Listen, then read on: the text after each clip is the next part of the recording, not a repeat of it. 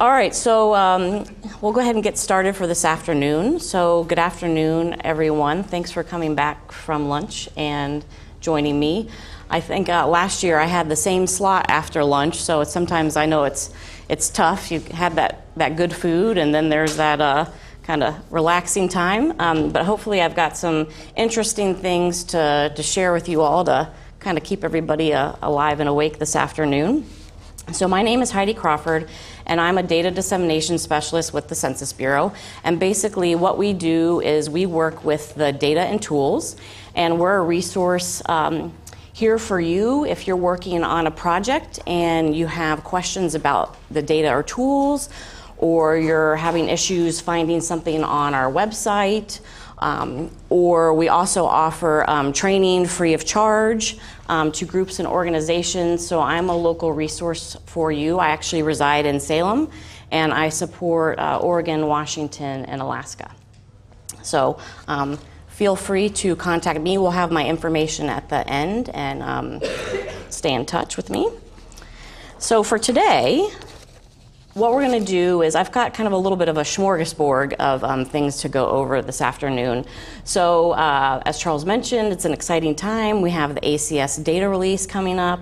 Um, we're going to talk about the economic census because this is an economic census year. We have something called the Opportunity Project um, that some of you may or may not be aware of. We'll talk a little bit about that. We also have our Statistics in Schools program. Uh, some of you may know it as Census in Schools. We'll talk about that today. And then we have a uh, new site that we are starting to launch, which is called Census Academy. And that will be a new site for ways for us to provide some different type of um, virtual training for everyone. And then at the end, I hope to hop online for a couple minutes and then show you a couple of these things as well. All right, so we're going to talk about a little bit about the ACS data release. But I didn't want to just jump in. I know we have a lot of power users here, a lot of people that use the ACS. So, show of hands, how many people use ACS? That's what I thought. But I didn't want to jump in and start talking about ACS if there were some of you that didn't really know much about it. So I thought we'd just do cover a little bit of background um, initially. So um, it is our nation's most current and reliable um, data source for statistics on veterans or um, transportation, employment, and it's a continuously ongoing survey. We conduct the survey to 3.5 million addresses a year, which is about 290,000 a month. We have over 35 topics. Um, and uh, many different users of our data, whether you're federal or non federal. And then we provide uh, the estimates um, in annual releases, uh, one year, one year supplemental, and then the five year. So, what we're going to talk about today in the next few slides is we're going to talk about this new release that's coming out, and that's the, the one year.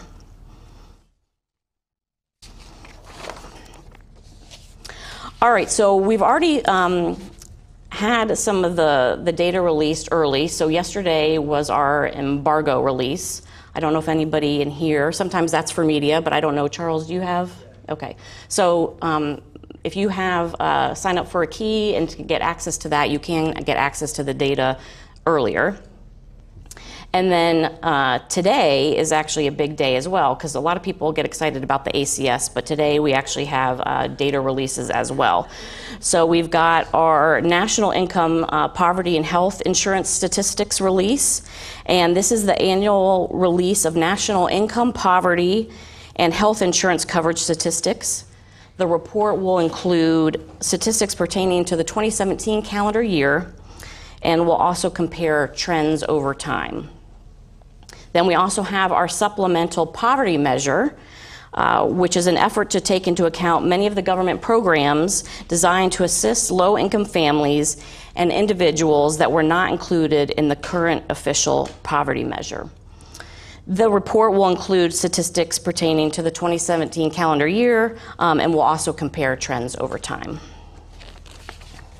And then lastly, we have our health insurance coverage. Um, and that is, uh, will include national level statistics from the 2018 annual social and economic supplement uh, to the current population survey. and some national and state level statistics from our American Community Survey. And it will include data for the 2017 calendar year and then compare with previous years.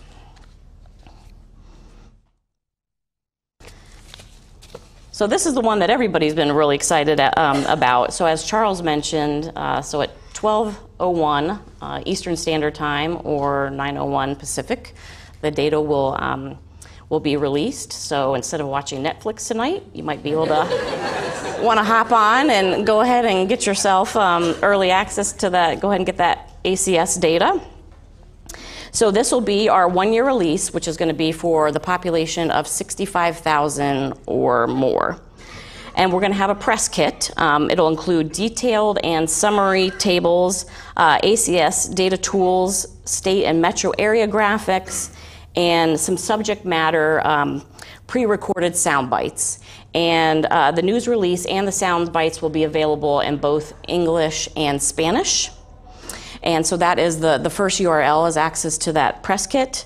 And then we're also going to have some infographics and visualizations. And we'll be releasing several of these, um, two which will go live on September 13th. These visualization, visualizations will allow you to explore data for over 10 topics, ranging from computer and internet access to employment status to commuting to work. And these uh, visualizations will provide interactive maps, narratives for selected topics. So these are the URL to go ahead and access both the press kit and those visualizations. All right, so um, the next few slides, we're going to talk about some of the changes to the, the release. Um, so first, I just want to ask, did anybody go online last week and watch the webinar. Um, there was a webinar, so a few of you might have uh, that we did. Okay.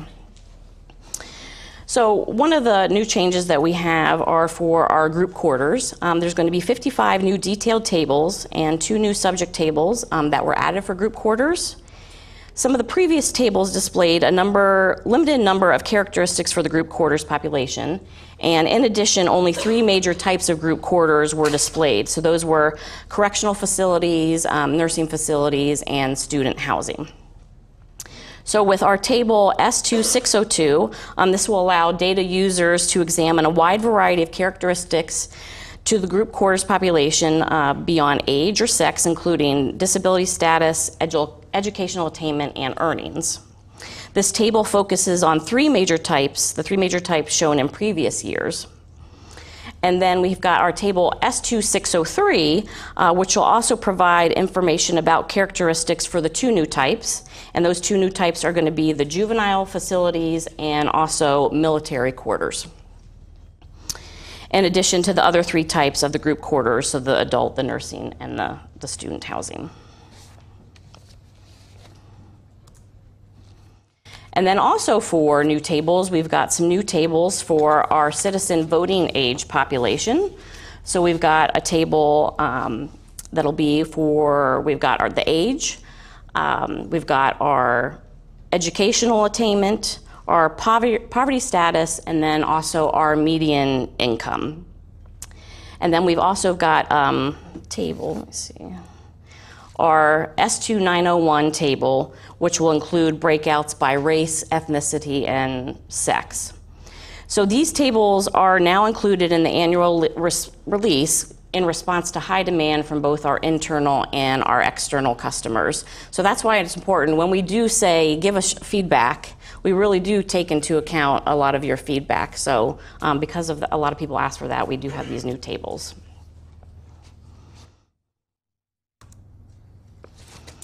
So, some of the noteworthy data product modifications that we have. Um, so, for tables, for six topics of the ACS had changes and the details are listed at this URL at the bottom. But just to name a couple of them, we had income and earnings. So we have two new tables um, to provide more information about the number of earners in the family as well as median earning for full time workers.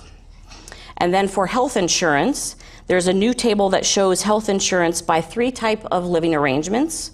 We have living married couple families, we have living in other families, and then living in non family households and other living arrangements. But all these different changes um, we've got located here. So if I went quickly, uh, we've got these documented for you. So, in talking about the, the ACS data, I know that um, one of the things that Nick and I talked about some with is the API. So, I wanted to mention that for um, some of you that use the ACS data a lot. How many of the of you in here use the API to get your data? A few people. How many of you have thought about it or would be interested in the API? Okay, this is great. So these next couple slides are going to talk about this just a little bit. So what we have with our, uh, our API, so on this slide we provided the link to the URL where you can access uh, the API. And then we also have here a URL for a training presentation that we did. I don't know if anybody saw it back in June. Uh, Tammy Anderson, actually, that was here, and um, Tyson Weister, uh, one of the folks that you probably, if you've seen our webinars, that does a lot with ACS. So the two of them collaborated to put together a really good uh, webinar on the API, and they took a lot of the suggestions from the previous presentations and had more hands-on examples to show you. So if you're, since I see several of you that are interested, um, if you haven't looked at that, look at this. Um, and these slides are going to be provided to Charles, so you'll have access to all these URLs. But I really recommend that you have a look at this. Um, but basically, what we do is we offer the API. It's a data service that enables uh, researchers, software developers, and folks like yourselves um, to access the data, and we present it in a standardized way. And then this, with this next slide, um, I listed out, this is just a small smattering of all the data sets that we have. So, um, because with the ACS release, we'll, we do have some of the ACS past years. We will have the new ACS data that's coming out. We'll release that as well. Then the URLs here um, provide you to um, a link to where you can go to access some of the data.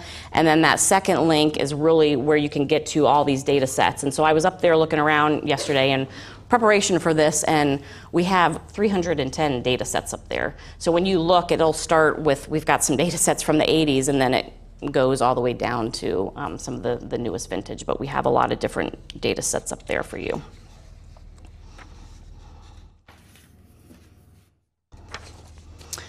All right, so we have um, coming up, of course, we've got our one year, and then we'll also have uh, other ACS data releases coming up within the, the rest of the year and into next year. So, one of the other big releases that we'll have is our five year estimates, and that will be in the December timeframe.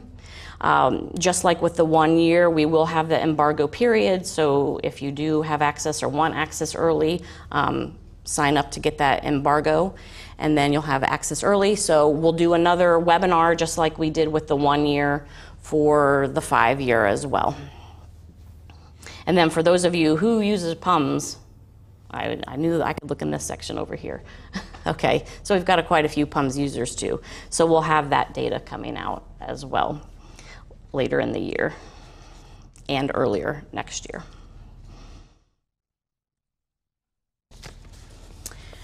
We want to hear about how you're using our data. Has anybody ever gone up to the ACS Share Your Story, or did they even know that we were collecting stories. I'm seeing a lot of shaking heads.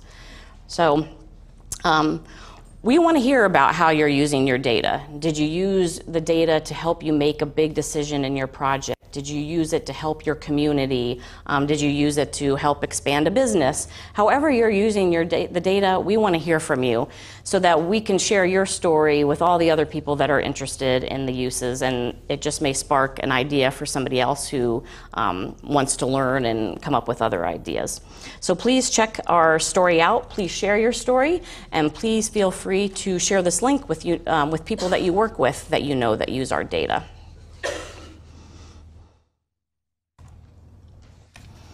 So we're going to switch gears into uh, our economic census. So every 10 years we do a census of population, and then every five years we do an economic census. So typically we do the census, economic census, on the years ending in two and seven. Um, this year it's a little bit different um, for a couple of different reasons. We ended up starting uh, this year in 2018. So, one of the biggest changes that we have for the economic census is we're not doing it on paper, it is all online. And actually, learning yesterday uh, from a, a, session that I was sitting in on, they said that the tool is, um, has been a challenge. Um, technologically, there has been some challenges, but also it's a really good tool because it has a built-in system of checks and balances. So if you put in um, something, it may know based on your answer that you may have reported it incorrectly and it will let you know. So those are some, some positives. We are still currently conducting and collecting information. I'm going to talk about that a little bit more in the slides, but even though you may see on some things that it was a June 12th due date, we are continuing to collect, and that's a, a message that I want you all to, to help us with get out to people um, if you work with people that are working on the census, economic census. In terms of the information that's required, uh, so we look at um, employer and identification, uh, primary business activity, sales, receipts, revenue. Um, then we have some industry specific questions. And we have 200 unique variables that are being collected per industry for the economic census. And then in terms of response, so as I mentioned, uh, we launched in um, May 18, and then the deadline for response was June 12th. But it is not too late. Uh, what I found out, what the information that I got from our my econ peers is that we're probably going to be collecting the data through the end of the year, especially for some of the big businesses that ask for extensions, later extensions anyway. So we really need your help if you um, work with businesses, talk to businesses, you know, give them a poke. Did you, you know, put in your econ census? Oh no, did you know that there's still time for you to submit it? Um, we even have on our economic census website, we have information, uh, if you do newsletters, uh, if you're willing to put something out on your website, on the econ website, we have informational guides, brochures, things that you can go and grab um, that you could put in on your website or your newsletters, uh, or if you do some subscriptions. So uh, please help us out. We ask for your, your support in getting the word out so that we can get this information out. In terms of the data that comes from the economic census, so um, it includes data with every two through six digit uh, NAICS code covered by the Census Bureau but it excludes things like agriculture, educational institutions, uh, postal service, labor unions. And so included in this slide is a complete list of all the exclusions. And then for like the product lines data, we put out um, data such as sales by products. And I know one of the questions that I might get, I knew that Nick would ask me, um, the response rate. So I did try and inquire about the response rate, but uh, Econ does a little bit things a little bit different compared to the census. Uh, with census, a lot of times we do the real-time reporting of what that response rate is. Uh, with Econ, they don't quite do that. Uh, but what I was basically told is that this time, compared to the 2012 Econ census, we are behind in every state.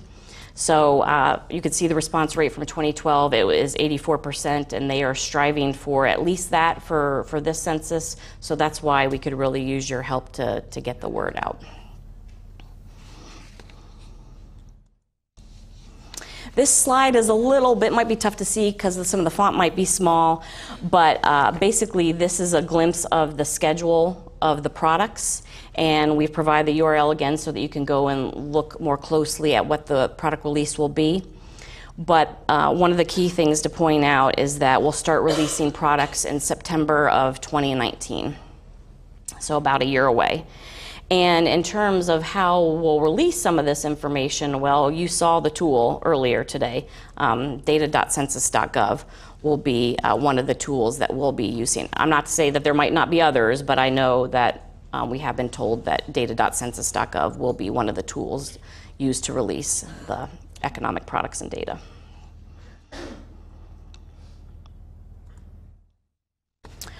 All right, so something new that some of you may have not heard of is um, what's called the Opportunity Project. Has anybody in this room heard of heard about this?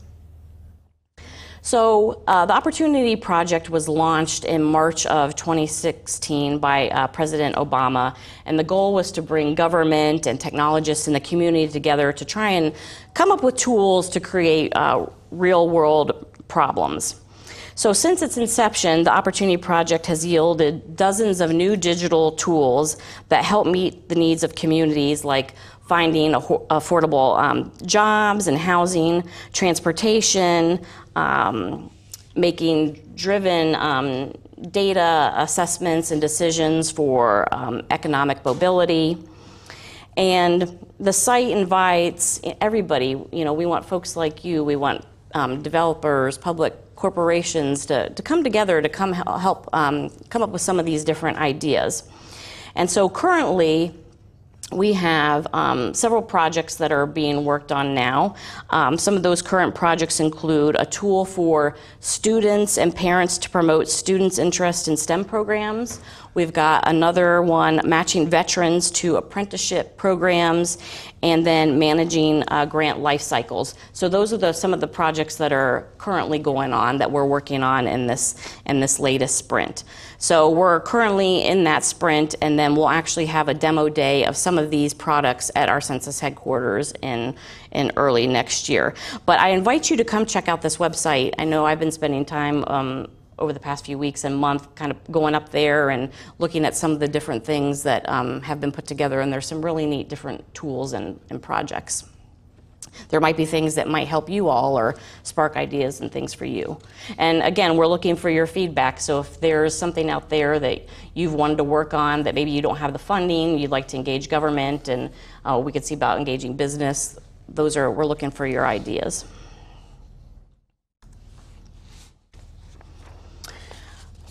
Now I'm going to talk a little bit about um, another program that um, we're looking to promote some, especially that we'll be looking to promote as we're gearing towards the next census, and that is our st- Statistics in Schools program. So, has anybody heard of this program, or you might have heard of it as Census in Schools? Has anybody heard of this or done anything with this before? Okay, a few of you. So, Statistics in Schools is a free program. Um, and it's designed to help support teachers' existing lessons plans. And it started out at, as some of you may have recognized it, as Census in Schools. And we found a reason that we needed to make it more of an evergreen program, so we changed the name to Statistics in Schools. And um, I have a like a real world example. Of my friend's daughter was a new seventh grade teacher of history in Denver Public Schools, and she was having, you know, new to teaching. So, as you know, as teachers, when you're new to teaching or you're starting a new class, it's a lot of work to come up with your lesson plans and, and what you're going to do. So, I sent the information to Erica and I said, well, go up and have a look at this site and see if it'll help you. And and she wrote me back within the week and she's like, oh, I've already come up with some, some new lessons and things that I'm going to do with the, the students. And so I was happy to, happy to see a real world example of this. Well, why do we want to use statistics in schools? Um, we want to encourage teachers um, to incorporate some of the different subjects in their lessons plans. And um, we also want to reach out to, um, we've got, you know, some future uh, census responders going to school right now. So we also want to try and engage in some of that, that youth and let them know about um, the importance of the census and uh, what's going on and how statistics can be used for um, in school and, and for their projects. And it's all, um, it's all free and accessible to everyone. These are um, some of the grade levels and the subjects that we support. So we have everything, we have elementary, we have middle school, and we also have um, for the high school students as well. So we've got the math, geography, um, and history. And when you go up on that Census in Schools website, um, you ha- can see there's a lot of different cool lessons plans that we lay out for you. Because a lot of the lessons plans we have engaged with teachers and former teachers to help us come up with these. so here are some of our key messages. I, I do want to talk about uh, 2020 because I'm sure some of you are wondering, might be wondering about that. So we are currently working with our contractor on the plans for um, 2020, and we've put together a work plan. So it hasn't been finalized yet, um, but we're hoping to come out with, um, we are coming up with ideas for outreach to schools um, and families and classroom and promotional materials, as well as kits for administrat- ad- administrators as well. So we do have those plans in process and we'll be working on those. And one of the things that I want to share is you don't have to be a teacher or a librarian to use statistics in school. Some of you might be parents, some of you might help tutor, some of you might work with um, children. So really this is something that can be used by anybody that's out there. And so we invite you if you're interested in statistics um, and working with children to come check out these lessons planned. And if you um, teach or you have um, friends that are teachers in the that you know, please share this information and let them know about it. All right, so our Census Academy, um, this is something um, that's pretty cool and new that we've started. And it is a site um, that will have some new and innovative ways of providing training. So, currently, what we have on the site, and I hope to get up there and show you a couple things, are what are called data gems. And these are anywhere probably from a minute and a half to three minute um, short videos of showing you how to do something. Um, when you go up there, you might see a familiar face um, that's been on a couple of them. Uh, we've done a few. And so the plan is right now we've got a few of these videos, and we did a soft launch in June. And then our full launch will be sometime in the fall here, October, November. And what we did with the soft launch is we did what's called a drip campaign. So if you're signed up for our subscribing emails, you might have seen some of these, and we sent one out each week, and one has been going out each week. So some of us recorded some of ours back in November, um, and we've had just people kind of continuously recording uh, these gems. And the goal will be to have a new one sent out um, each week of the year. So if you're looking for something um, and you want to learn quick, we might just have it. In terms of what we're doing for um, CEDSCI, um, I know that was something we also talked about um, too, was that uh, we are going to be creating some gems for that. Uh, we're not starting on those yet because, as you can see from Tammy's demo, the the system is still fluid. So if we created one, we'd probably have to change it within the next week or two because they are continuing to update. But the plan is to have some data gems for uh, data.census.gov, which will hopefully help everybody uh, get used to the to the new system. We also plan to put um, some training course modules up there as well. So um, we're looking into that right now. We've been consulting actually with some of the, the SDCs. We're hoping some of the SDCs might be willing to teach a course or two, but we're looking to put courses up there and kind of break them down into a module form. So that'll be something I think that will be new and exciting and interesting for this this site as well. So I encourage you to go up there. Um, like I said, we'll go online and, and have a look at it in a minute. If you have ideas once you have gone to the site, if you do have ideas, you can feel free to reach out to me or to reach out to Charles and let us know if there's something that you would like to see. Okay, so what I'm going to do is I'm going to hop up.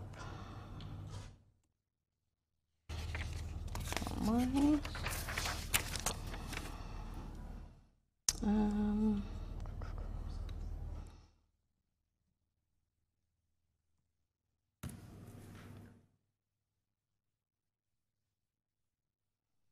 One of the things that I, I, wanted to mention, I know Charles mentioned this this morning, is this pop up for the subscriptions. So, has is anybody get any of our signed up to get anything? Okay. So, I encourage you to sign up. Um, once you go in and you sign up, you ha- can manage your subscriptions so that you don't get bombarded from everything, all census. If that is not what your interest is, you can go ahead and um, selectively put in what you'd like to get. But I do recommend, especially as we're coming up with 2020, uh, also just if you're interested in the data releases, certain things, you can um, sign up. So I encourage everybody to do that. But what we're going to do is, let's see. So the Census Academy is kind of a little bit stealth right now. It is not linked off of any website at the moment.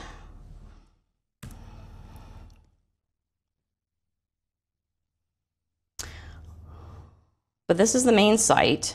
And then what we you'll see here is we have what's called the data gem of the week. So this is the one that if you are signed up for our subscriptions and if you um, get signed up for the, the data gems, then you'll see that. Uh, we also tend to post them on social media as well, so you might see it if you follow us on Instagram or on Facebook um, or Twitter. So what you have here is the data gem of the week, and then there's a list um, just going through. Um, so we've got how do I get business data from my location, um, downloading shape files, congressional district, um, American Fact Finder, uh, data visualizations. And each one, when you click on these, is a different gem. And then at the bottom, you'll see a link that says uh, follow Census Academy playlist on YouTube. So we've got all of these listed on YouTube as well. So if you don't want to poke through each one, you can go up to YouTube and then you'll see the, the list of, of all of them. And then eventually you'll see that we've got on the, um, did it go up? Yeah. On the, the upper left-hand side there, uh, eventually that's where we'll put some of the, the courses and we'll just keep adding to this as we kind of figure out what we want to add. And again, I'm, I'm all ears if there are things that you all would like to see in terms of virtual training that would be helpful to you, please let me know or let Charles know. And then another thing that I want to show um, everybody is under library, we also have um, our America Counts stories. Has, is anybody familiar with these or has anybody read some of these before? Okay. So we started coming out with, oh gosh, I know it's probably been at least a year or so that we've been publishing some of these. And because we do have the release today for the income and poverty, we do actually have some, some new stories that um, came out and popped up this morning. So, uh, like this one for income and poverty, poverty, the highest median household income on record. So what we have are different stories that talk about um, our data and, and the different tools and when we crunch the data, looking at some of the different trends, and then we come out with some kind of cool and different stories. Um, some of you might be familiar with Andy Hait. He's our Census Business Builder guy. He did a story about uh, data and um, disaster preparedness. So a lot of these stories are written by my you know, fellow colleagues at headquarters, they may be um, the subject matter expert of something. Um, we've had public information affairs specialists, um, some of the folks that do the job that I do in different states, they've helped with stories. So if you're kind of interested in looking beyond the numbers and kind of see how people use them and the different things, um, different ways that they can affect our lives and how we do our, our work, um, I encourage you to come check out our um, America Counts stories.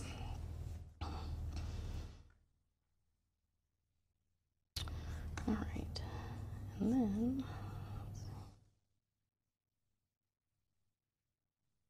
okay.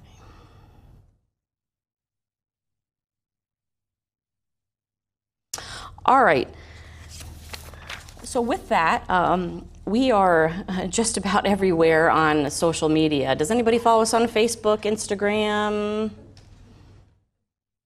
A few of you, okay. Uh, um, I guess maybe I'm biased. I follow us on some of these things. Um, so uh, if you want to sign up for the subscription, you saw that pop-up box. Uh, Charles mentioned this URL earlier. So we've, we've got this that you can sign up.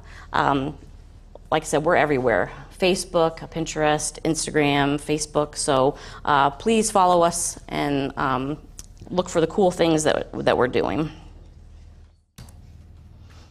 This is uh, my information. So please feel free to uh, reach out at any time. You will have um, the slides with this. Um, call me, uh, email me. Like I said, if you're working on a project and you kind of get stuck and you're not sure where to go, um, let, give me a call. I may not always have the answer, but I typically can find somebody at headquarters um, or a subject matter expert that might, that we can get you pointed in the right direction. And if you are um, working with a set of data or tools and you get stumped, um, I know Charles and his team is a great resource for training, and I'm available as well to help you all.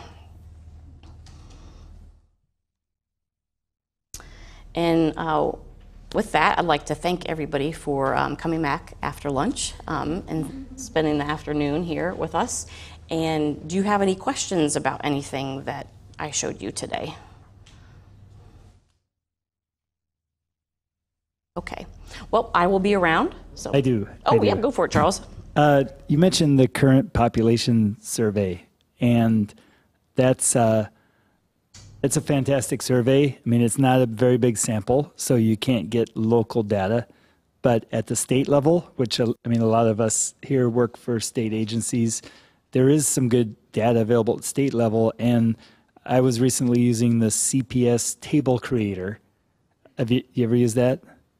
Uh, Actually, a coworker recently showed me that because I didn't know about it either. Yeah. Uh, do we do we have a minute to take a look at that? Yeah. Uh, Here, come on want me to run it? Yeah, come on up. Okay. Do you want Chrome or I? Or does it Uh, matter? either one. Chrome, uh, probably. Okay. Yeah, I I had a, a question come to me. Somebody wanted to know like the number of uh, single people above the age of 50 in Oregon. And it, interest he was he ran trade shows and he was marketing to those people.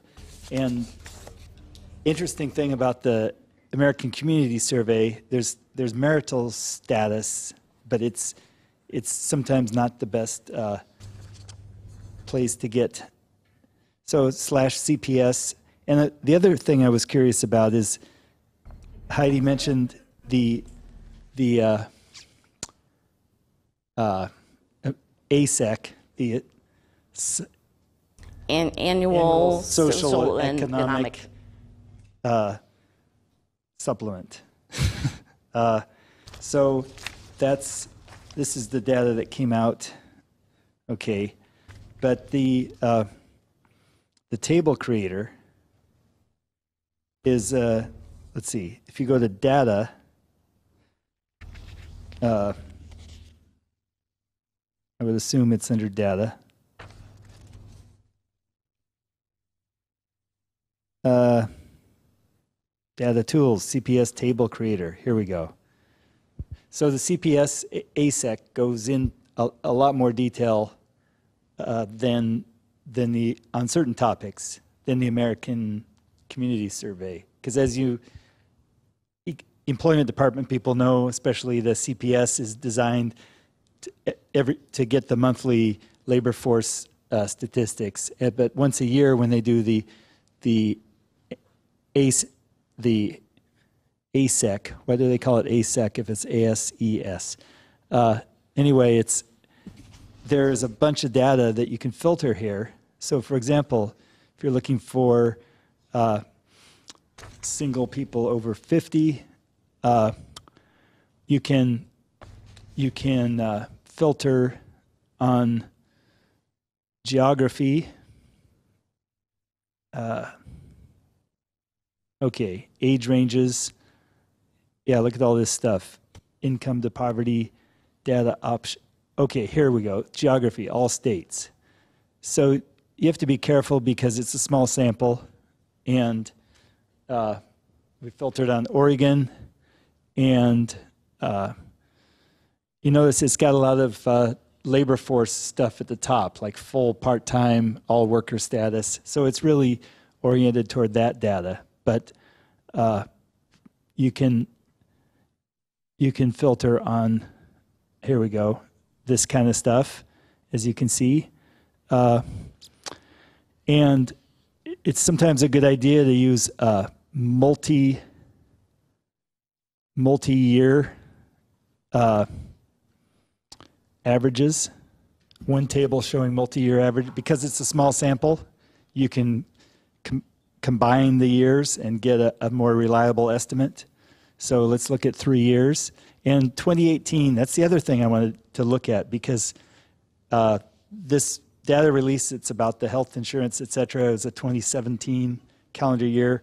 But i i was pretty sure that because they do the asec on the week of march 12th every year there's already data out for 2018, which is unlike most other sources. So, uh,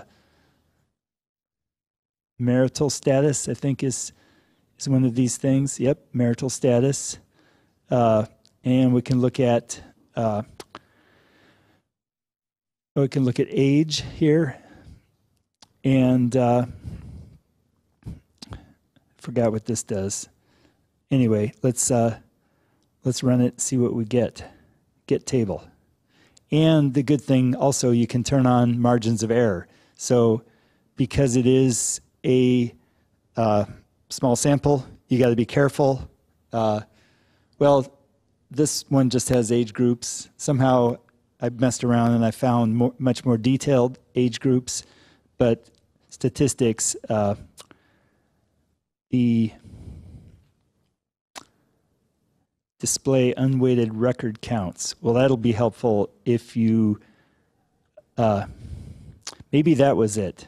You'd have to, maybe it's not calculating margin of error, but you can see how many unweighted records there are. So if you want to be, uh, uh, okay, yeah, unweighted record count. So there's only, I guess, in Oregon, uh, 7,864 cases. And, oh, and the sums in thousands. So the estimate here is 4,125,000, which sounds about right. 4.1 million people in Oregon. But it's based on a sample of 7,864, so be careful. But, but this is uh, a useful tool. I just wanted to since you mentioned the CPS, I just wanted to promote this.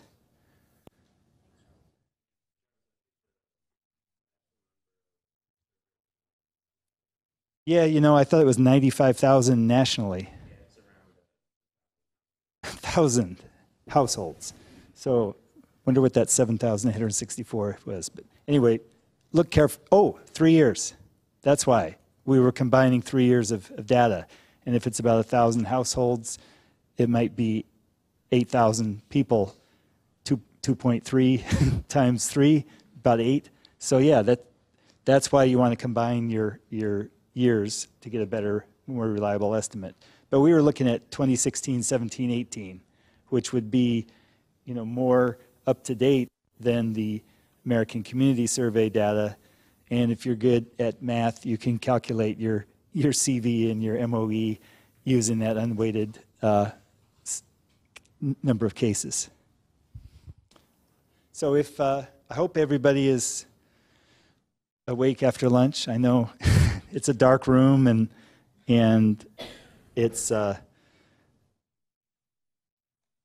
I ate a lot for lunch. Maybe y'all just went back to your offices and checked your emails since two thirds of your work within walking distance of here.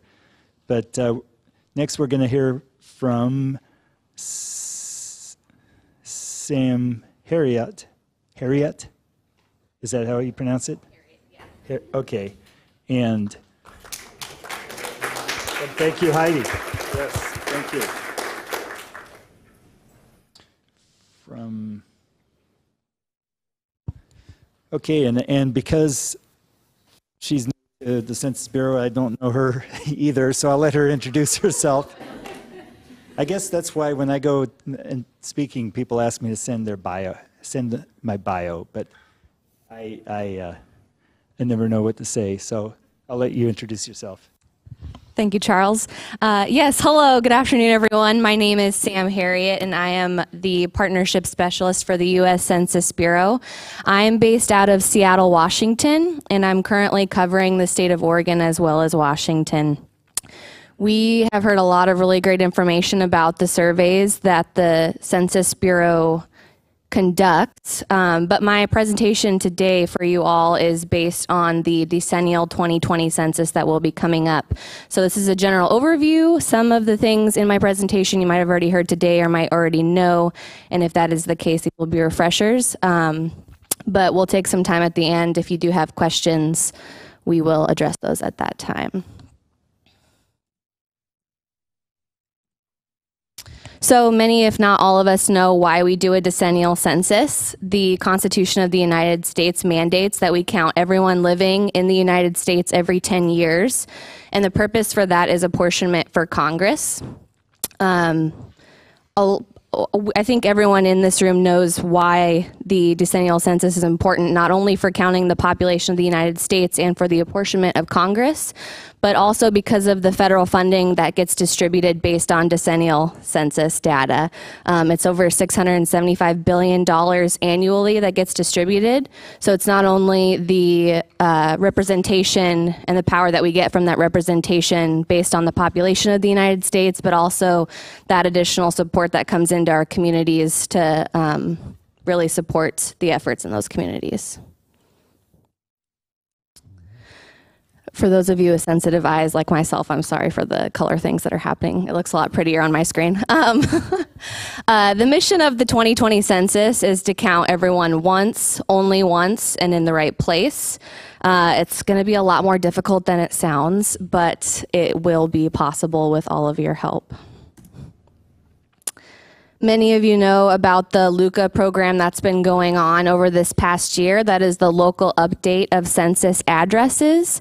Um, we've been working with state and local governments and different agencies to compare their address lists with our internal address lists to make sure that those are as accurate as possible before going into the 2020 decennial census operations.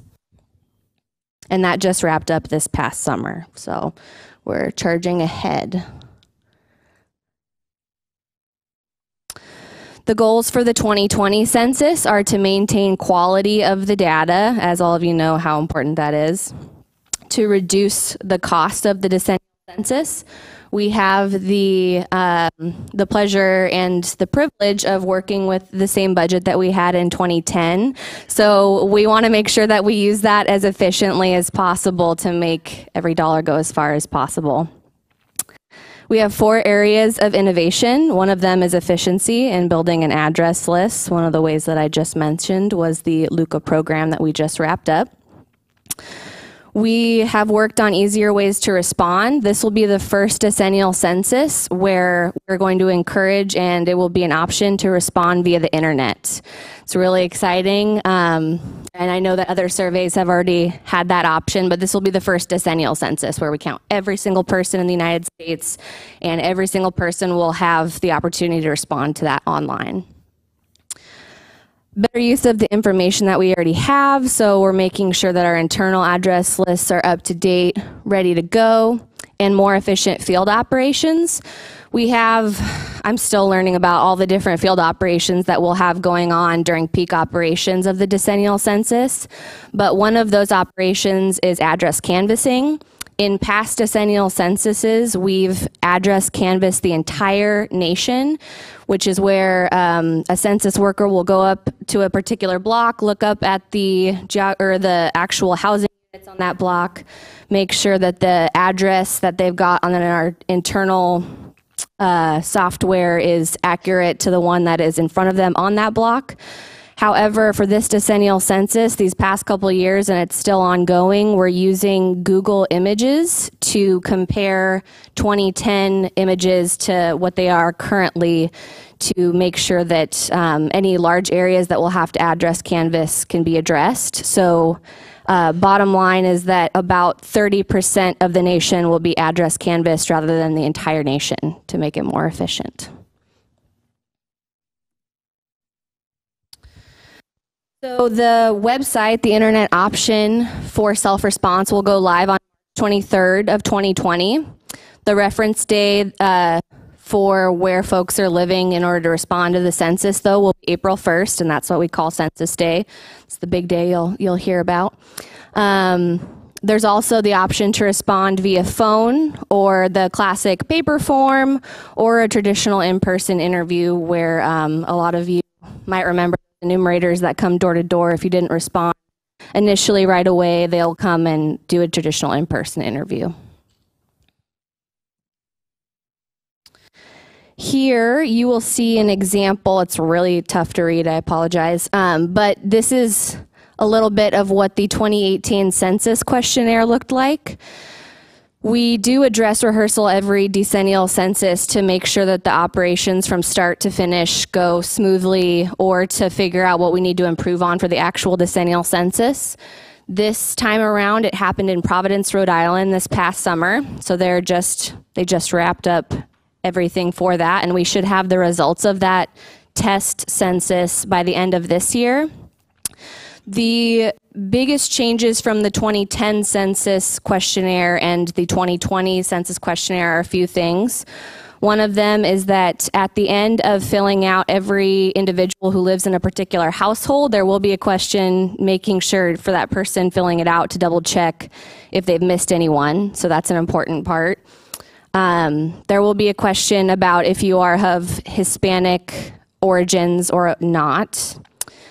There is also two different questions rather than one combined question of what is your race and what is your ethnicity. So that will be two part question rather than a combined question as it has been previously. And there will also be a write in option for the race question. So that's also new. Um, you've got another example there. Oops, did I do that? Maybe not. Maybe I didn't do that. Okay. Um, so those enumerators that I mentioned before, the folks that are going to be going door to door to ask people to respond to the survey who didn't right off the bat for that non-response follow-up, each of them are going to have a handheld device, an iPhone, um, and that will allow them to fill out the survey with someone, whoever they knock on the door of. And all of the uh, materials on that iPhone will be able to be translated into Spanish. So if that person is bilingual, they can translate everything right there in their hand into Spanish. If they knock on the door of someone and realize that that individual doesn't speak English or Spanish, they'll have a little language identification card and they'll hold it up and they'll ask the person to point to which language they speak. And then at that point, they can provide resources for how they can get additional help filling out the survey. On the internet option, there will be a drop down box that will allow you to pick from 12 different languages other than English, and that will translate the entire survey into one of those 13 languages. In addition to that, there will be a glossary online and available via phone, and that will take census specific language and translate it into 59 different languages. Um, in addition to that, we've got Braille, uh, we've got American Sign Language, and uh, I believe that there's about 40 more languages where we will have templates available to different communities that aren't included in this this selected language list, so that community organizations, local governments, and things like that can kind of drag and drop and make custom uh, communication materials. Um, additionally, for the Los Angeles region, we're going to try to hire locally so that we can hire bilingual folks, people who speak uh, particular dialects of languages in certain areas, so that those people can get paid to help their neighbors fill out the census survey. Um, all of this is based on census data, how we came up with the 59 different languages. Um, I've got more details on that if you are interested. But I'm sure that you would be able to find that via American Fact Finder and all the other awesome tools you learned about today. um, so I am technically based out of the Los Angeles Regional Census Center. The entire nation is split up into six different regions. Our region covers seven different states, as you can see there Washington, Oregon, Idaho, Alaska, Nevada, California, and Hawaii. So I, I'm pretty sure we have the largest geography out of the entire nation. Um, Year round, we have a regional office that's open in Los Angeles that supports all of the other surveys that we conduct.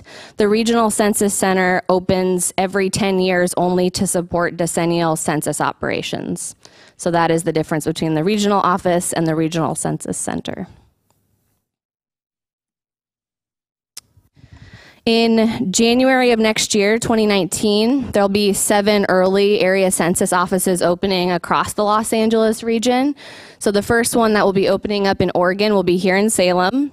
And that'll cover all the state of Oregon, Hawaii, and some of southwest Washington.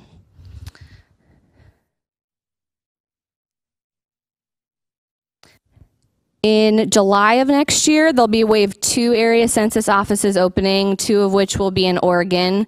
One of them will be in Portland and Eugene. So there will be two opening up in July of next year.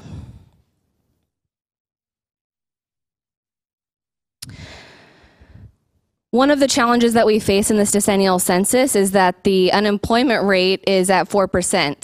So we are asking all of our partners to get the word out that we're going to be hiring for temporary census jobs.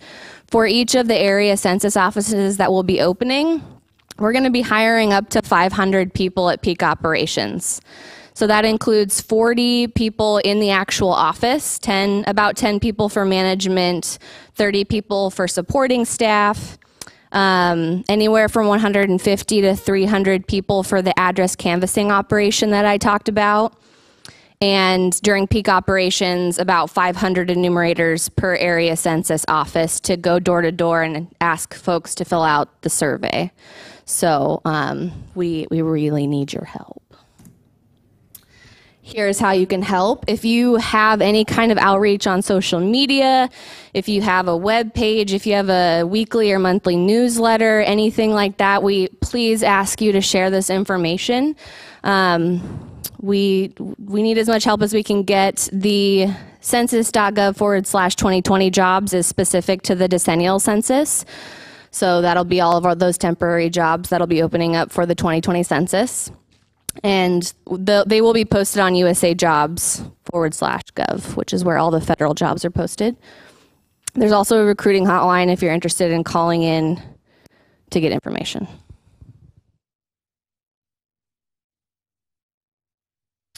So, as a partnership specialist in my role, I'm part of the Community Partnership and Engagement Program, the CPEP program.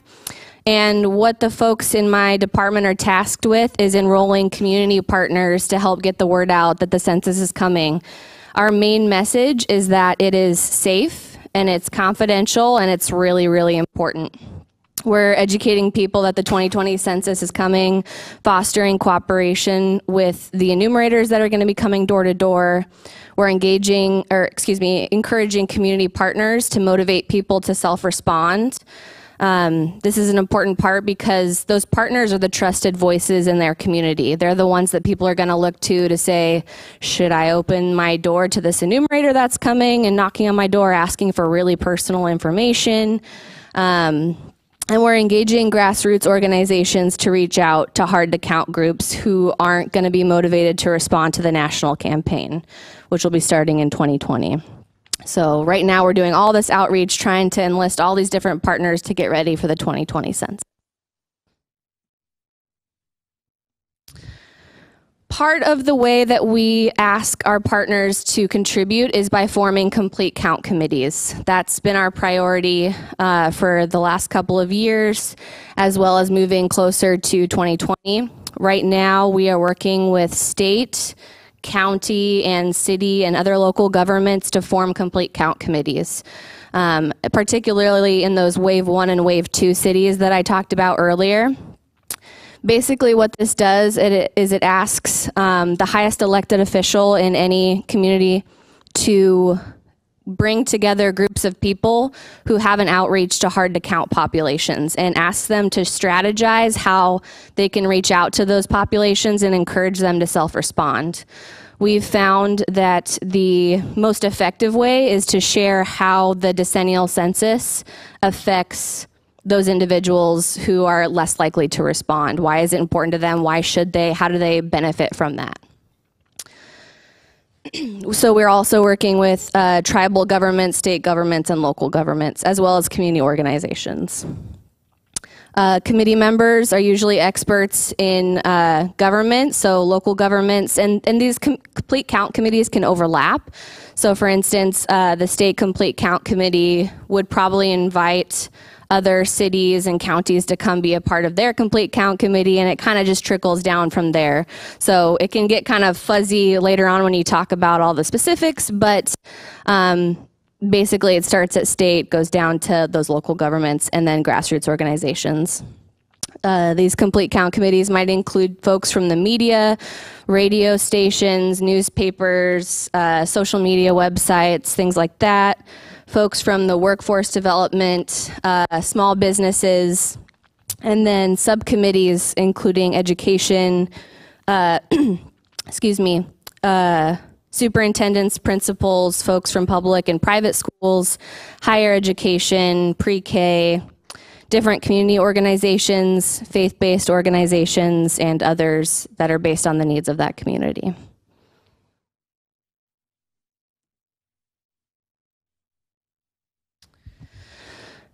Up here, you see some key dates for the decennial census. Uh, the field offices, we just wrapped up the 2018 census test, end to end census test, and the regional census center opened up earlier this year.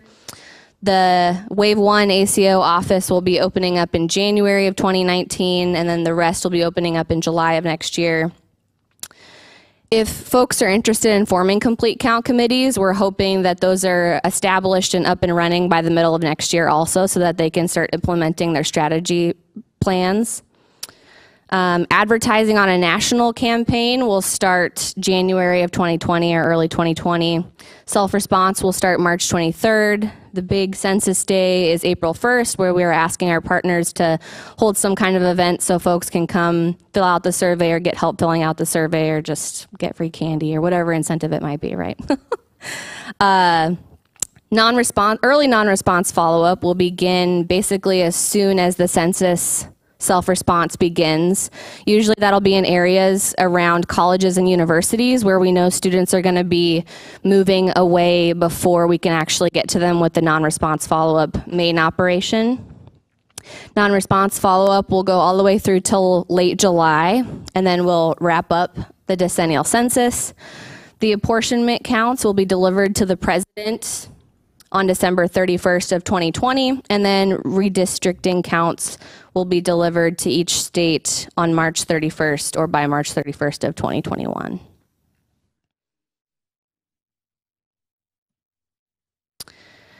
Basically, at the end of the day, we ask that um, you all know how important it is that we get a complete and accurate count please spread that message. A lot of the agencies that you work with already might have already heard from the decennial census team in Los Angeles about forming a complete count committee, or you might have been asked to be a part of someone else's complete count committee. But if you are interested or think that your agency might be interested in participating, I really encourage you to please reach out to me.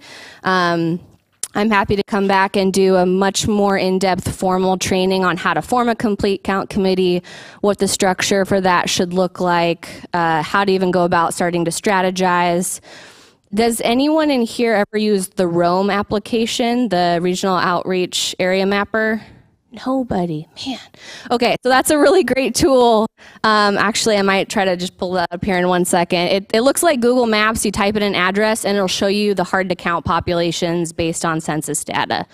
Um, I get really jazzed about it, as everyone does here about data, right? Um, so the the bottom line is the census is safe, it's confidential, and it's really important to fill it out. Um, another thing to note is that every person who works for the census, including myself, we take an oath uh, to never in our over our entire lifetime ever release personally identifying information. Um, the penalty for that is five years in federal prison or $250,000 fine. So we've got a lot at stake as far as not releasing that information. Uh, that information, as many of you know, can't be released until the passage of 72 years. So um, it's really safe, it's really important, and confidential. Uh, I'm going to go ahead and pull up that website if that's okay. Um, that ROAM application I was talking about.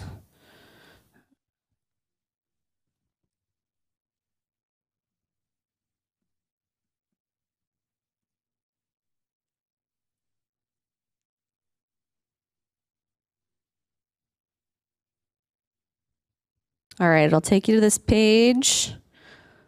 Oh, it doesn't look weird on the screen anymore. That's good. Scroll down. Like I said, it kind of looks like Google Maps. Um, You can type in a particular address. You can type in a state, a county. It goes all the way down to the census tract. Um, I will type in Salem. Usually, there we go, magic. How often are you guys confused or, by uh, people asking Salem like you ask if they're from Massachusetts? Anyway, yeah, I can imagine. Okay, so this pops up. You see general Salem, Oregon. Clicking on any of these census tracts will pull up this nifty little box.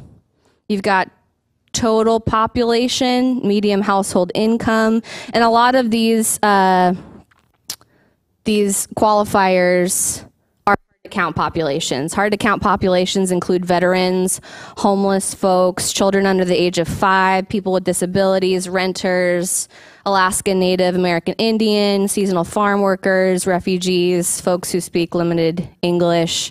So these are all included here, and this gives you an idea of when you're forming your complete count committee the areas that you're going to need to reach out to and who in those areas you might be able to invite to be on your complete count committee.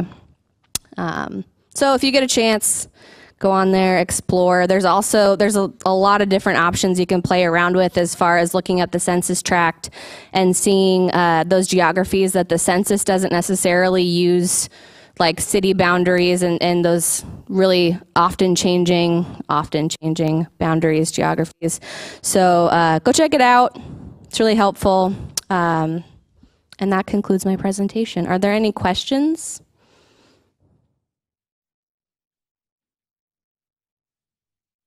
Great, I covered it all. Thank you very much.